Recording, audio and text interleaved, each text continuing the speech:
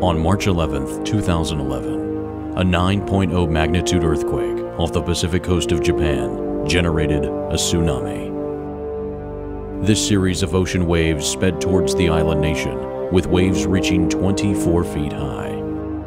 The result was devastation and utter destruction.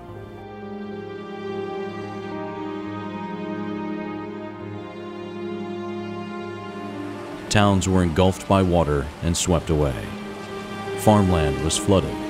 Tens of thousands of lives were lost. The National Police Agency reported damages to hundreds of roads, bridges, and more than 100,000 buildings. The surging water flooded rivers and destroyed harbors. In some areas along the coast, tsunami waves reached six miles inland. Tsunamis not only cause severe damage when they first strike land, but also as the water recedes back to sea. Tsunamis can inflict this type of damage because of some unique features. As tsunami waves travel across ocean basins, they may be as little as a few centimeters high, but they extend down to the ocean floor. This is different than traditional waves, which are only surface features. Tsunamis can also travel hundreds of miles per hour in the open ocean.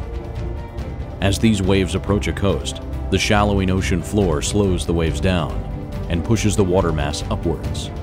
The quicker the ocean floor transitions from deep to shallow, the greater potential for a higher wave height. So, tsunamis that experience this sudden shift into shallow water can have the height and momentum to pack a serious punch. Unfortunately, Japan found itself in this scenario. This image shows how abruptly the Japanese islands rise out of the ocean. Other coastal areas in the region have much more gradual slopes. The earthquake on March 11th was the most powerful known to hit Japan, and the tsunami it created had the necessary ingredients to make it such a deadly and destructive force.